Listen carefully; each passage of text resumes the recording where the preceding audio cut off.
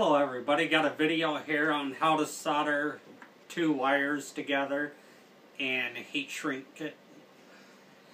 Anyway, all you're really going to need is a thing of solder. You'll want to get some solder paste, or flux as people call it. So you'll need that, your solder, and there's a couple different ways you could do this. You could use a soldering iron and you could use a heat gun actually for on the heat shrink tubing to shrink it. But on this one we're just going to use my little torch here that I got to do it with. So basically all you do is take and strip your wire out. I got one already done here. We'll do the other one.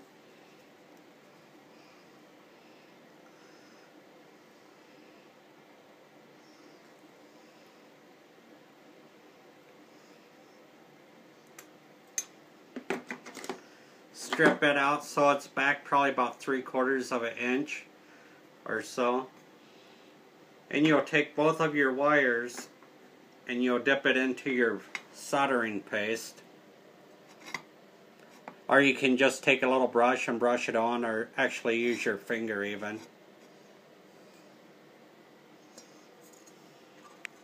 Always put your lid back on it so the stuff stays clean in it. And I take and try to twist the wires together just a little bit to help hold them. And that way you get a better solid wire there when you solder it. I've got this holder here, it makes it a lot easier, but you can do it without them. Just, it gives you extra hand and you don't have to sit there holding the wire. If I didn't have it where I could slide the tubing on, you'd want to put it on first. But since both ends are open on this, I can just slide it up and over it.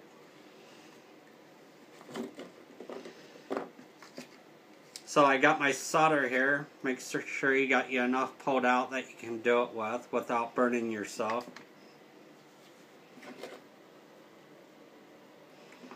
On this here torch, you got to turn it on and light it with a lighter here.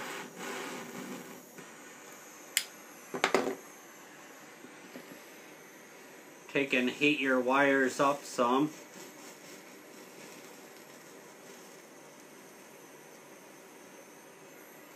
and you'll want to take your paste, I mean your solder, and go along it.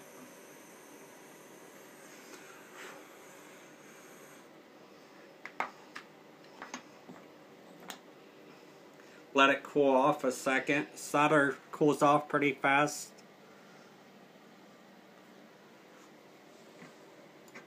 So it won't take long for it to hold it. And as you can see, I got it soldered together there. And it's got a good solid hold to it.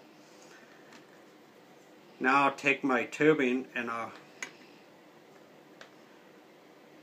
see how long I need it. You'll want it to overlap each side, probably three quarters to inch. Let's see. So I'll cut that off some.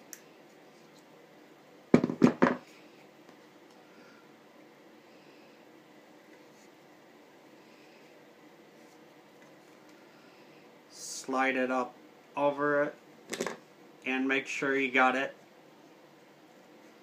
where it's overlapping both sides pretty good.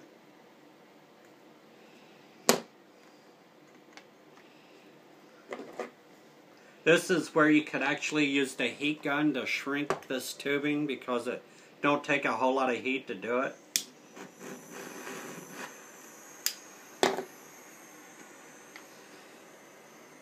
and you just if you're using something like this just move it back and forth real fast you can actually use a little lighter to do this with also